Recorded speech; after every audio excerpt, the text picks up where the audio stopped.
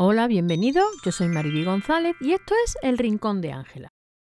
En el trabajo de hoy os voy a dar tres ideas para reciclar frascos de cristal pequeñitos. Así que si quieres verlo, no te pierdas este vídeo. Antes de empezar a aplicar la imprimación voy a decorar las tapas de los botes.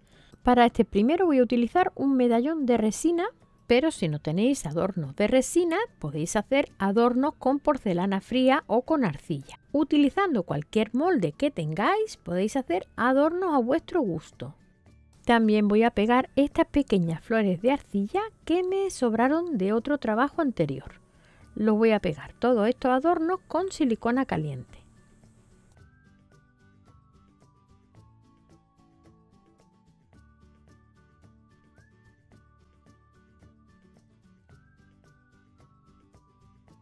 Ya tengo decoradas las tapas y ahora vamos a aplicar una capa de gesso o imprimación sobre las tapas y también sobre la superficie de cristal de los frascos.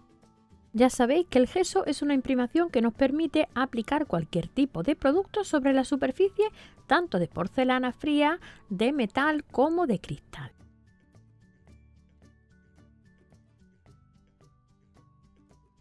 Ya se ha secado el gesso y ahora vamos a pintar la tapadera de este bote con la pintura acrílica de color lluvia morada.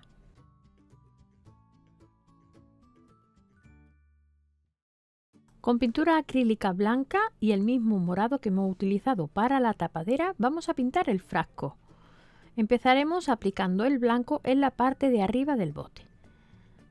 Después en la parte de abajo voy a aplicar el morado y voy a ir subiendo mezclando con el blanco. De esta forma vamos a ir haciendo un degradado.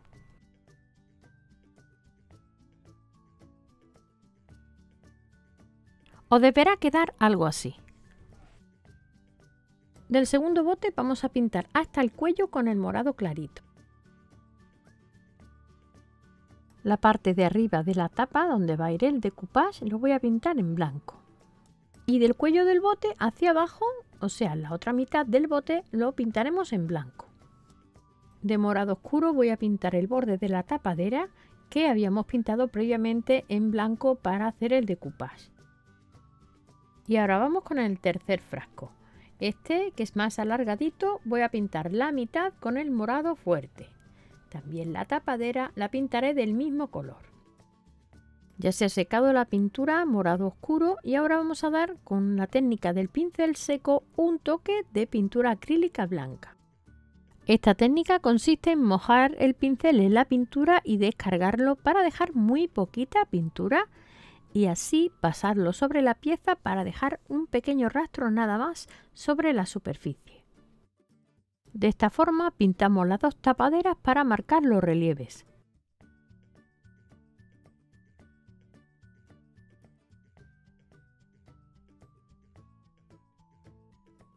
Con pintura acrílica en color plata y también la técnica del pincel seco vamos a realzar los relieves.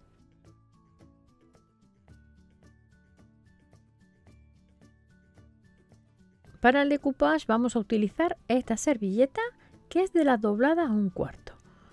Es como las servilletas normales, solo que un poquito más grande y doblada de manera diferente. Voy a recortar con un pincel húmedo las flores una por una.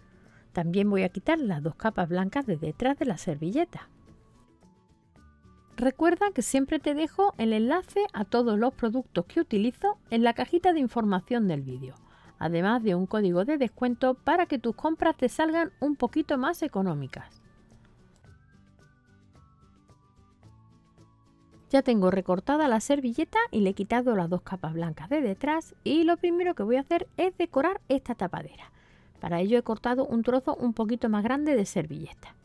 Voy a utilizar un pincel ancho y plano para aplicar el pegamento. Como veis, lo aplico desde el centro hacia afuera con pinceladas largas para que cubran la mitad de la servilleta. De esta forma voy a ir colocando la servilleta sobre la tapadera y voy a ir recortando el sobrante para ajustar lo máximo posible lo que es la servilleta a la tapadera.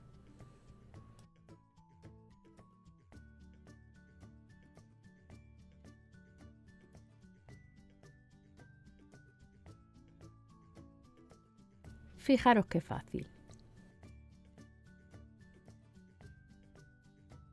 Sobre este bote, cuya mitad es blanca, voy a ir pegando flores y mariposas. El color con el que he pintado los botes lo he elegido por el color de las servilletas, porque tenía esas pequeñas violetas. Los colores que elijas para decorar tu bote son los que predominen en la servilleta que vas a utilizar para decorarlos. Hago lo mismo en la parte blanca de este segundo bote.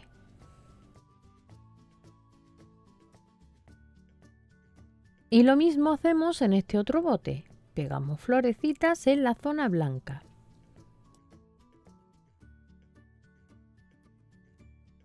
Como último toque vamos a aplicar una capa de barniz brillante.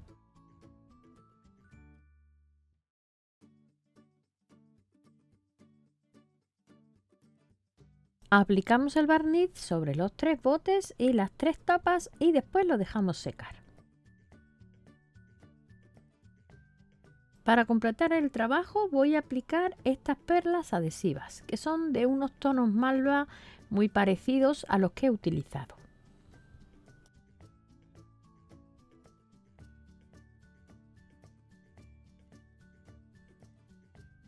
Para decorar este bote voy a aplicar pegamento o silicona fría y voy a poner una cinta de encaje en los mismos tonos de, que he utilizado para la decoración.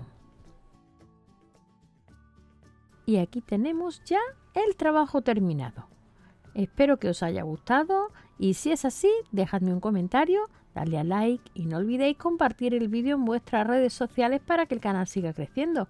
Y ya me despido, un beso enorme y nos vemos en el próximo vídeo. Hasta pronto amigos.